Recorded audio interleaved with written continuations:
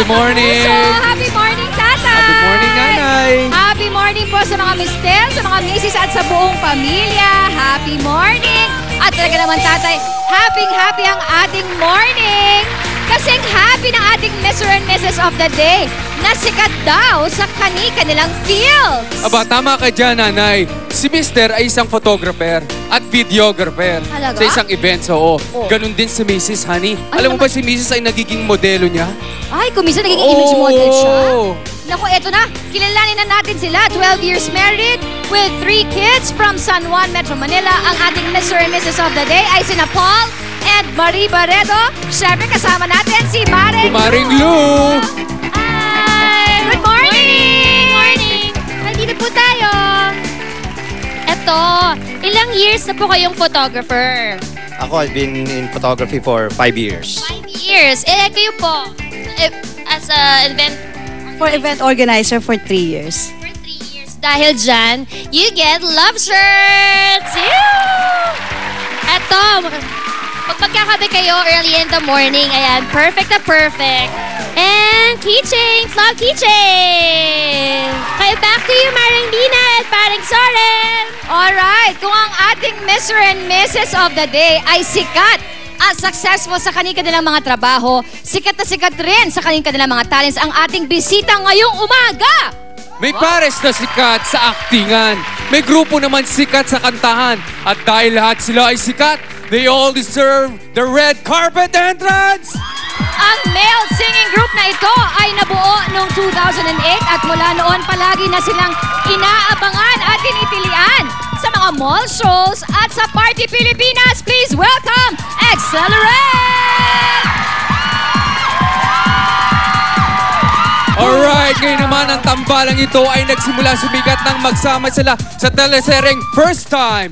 At ngayon patuloy ang pagsikat sa teleseryeng Pilyang Kerubin. Let's Correct. welcome Joshua, Dionisio, and Barbie Forteza! Mga kapuso, silang lahat ay ang ating mga bisita na sikat at magpapasikat, honey. Correct! Uunahin na muna natin ang masaya at matamis at maasim na chismisan with Joshua at Barbie. Kung bakit matamis at kung bakit maasim, yan ang ating aalamin sa pagbabalik ng... Love the Mister!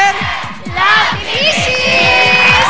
Love ni Mister, love ni Mrs. Tutok lang sa TV, wala At kasama natin ngayon ang sikat at tambalang never magpapaawat, Joshua Junicio and Barbie Fortesa! Good morning, guys! Morning po. Morning po! Good morning and welcome to our show!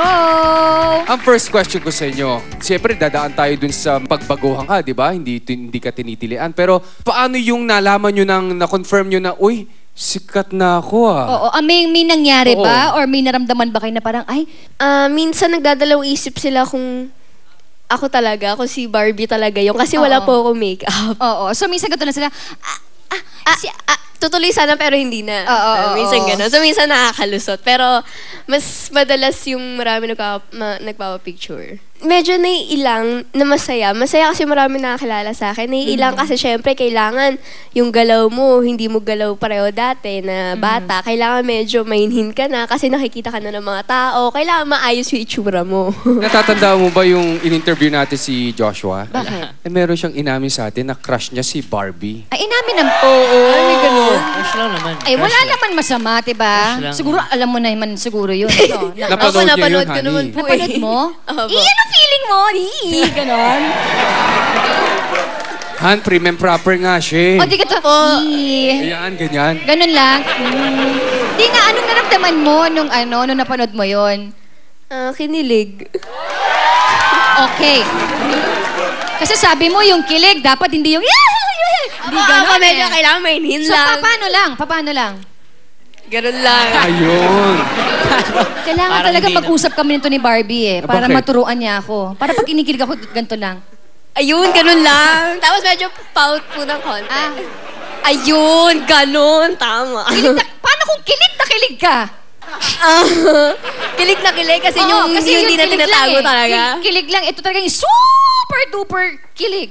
Sumisigaw ako, pero sa walang tao. Ah, pag walang tao. Minsan tinatakluban ko na una yung mukha, siya ako sumisigaw para hindi masyadong malakas. Oo, sample natin. Para makita naman ni Joshua kung paano ka kinilig noon. Sample. Kunyari, Sample. oo, oh, kunyari walang tao. Oo. Ayan na. Kunyari nasa... Ayan. Ganon. Ah. Ayun, Joshua oh, kung, kunyari may mga fans na ganun tumili sa'yo, Isa, isa yun sa mga facts. Pero, yung pagtili sa akin ng mga audience means that na na-entertain namin Okay. sila. Na-enjoy nila yung company namin. Pero ang ang kaya naramdaman ko sikat na ako kasi medyo marami na akong posters kasi marami nang gagaya sa akin. So, Tama. yun. Ito na, kung sikat sina Joshua at Barbie dahil kilalang kilala na sila ng kanilang mga fans, gaano naman kaya nila kilala ang isa't isa? Aalamin natin yan sa isang trivia game na may maasim na consequence kapag hindi nasagot ni Barbie yung tanong natin na trivia about Yung Joshua. niya ang kakain. Si Joshua ang kakain. Okay. Tapos vice versa. Okay? So let's start.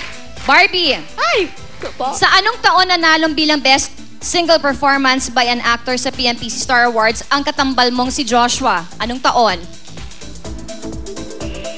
Ah, t- um, wala na. Ay, ayan na, oo. Aba, ang consequence niyan, itong tama rin ang kaka kakanin ni Joshua. Oo, kainin- Kaya-kaya mo yan, pare.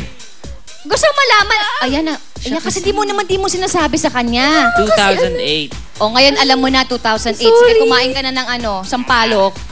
Sige nga. Kinakain ba yan lahat?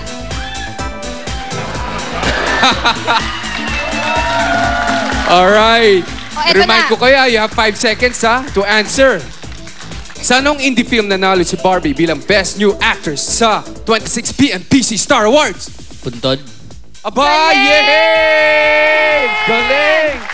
Crush mo nga talaga siya, pare. Bakit? Eh, alam niya yung, alam niya yung sagot eh.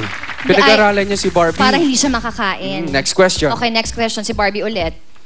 Eto na. Barbie, gumanap bilang Dwight Cabrera si Joshua sa pelikulang ito ng Viva Films noong 2004. Ano ang title ng pelikulang ito? Ang palaya, ang kaka kakanin. Ano ang sagot? Kulimlim. eh. hindi ko talaga alam. Ang sagot ay kulimlim. Sige na nga, May kumain ka sinabi na. ko siya wala. Sabi mo lang ganito. Kumain ka na. Ako kakain. Lagi na lang ako kumakain. Kumain ka na ng Ang ampalaya. palaya.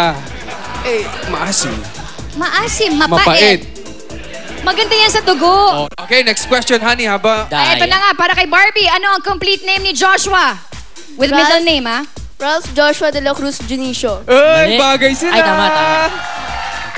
To, Joshua, ano naman ang complete name ni Barbie with middle name? Barbara Ambas Forteza. Ay, bagay talaga sila! Correct! Ay, dapat minali ko. Eh, ang galing! Sobrang galing nyo. Pero ilan ang nakain mo? Dalawa. Dalawa. So, mas may alam ka kay Barbie kesa si Barbie mas may alam Ano sa'yo. ba yan? Anyway, eto na nga. Kung may matamis at maasim na tsikahan with Barbie and Joshua kanina, isang matamis at nakakakilig na tanungan at sagutan naman ang susunod kasama ang Accelerate!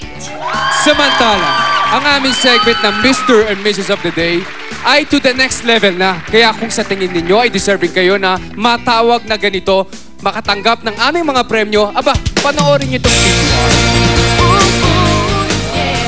Attention, mga mister at mga misis! Si Kumaring Lou dadalaw sa barangay nyo.